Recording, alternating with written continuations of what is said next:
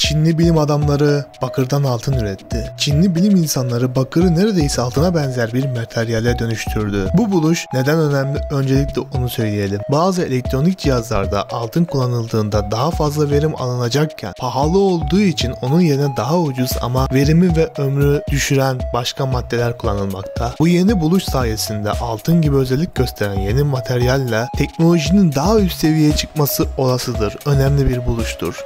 Dalian Kimyasal Fizik Endüstrisi'nden Profesör Sun Jian ve meslektaşları bakır hedefi elektrik yüklenmiş sıcak argon gazı ile vurdular.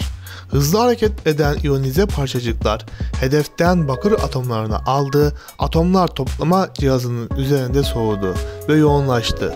Bu işlemin sonucunda ince bir kum tabakası oluşturdu. Oluşan kum tanecikleri yalnızca birkaç nanometre çapındaydı. Araştırmacılar materyali reaksiyon odasına koydu, kömürü alkole dönüştürmek için katalizör olarak kullandı. Bu ise yalnızca değerli metallerin verimli bir şekilde kaldırabileceği karışık ve zor bir kimyasal işlemdir. Bu şekilde altın benzeri bir materyal elde ettiler.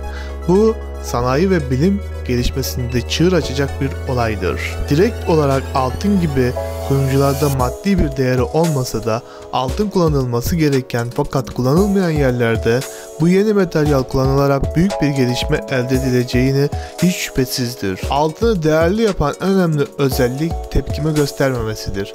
Dolayısıyla altın kullanılan bir şey hava gibi, su gibi ve daha birçok gaz ve metalle tepkimeye girmez.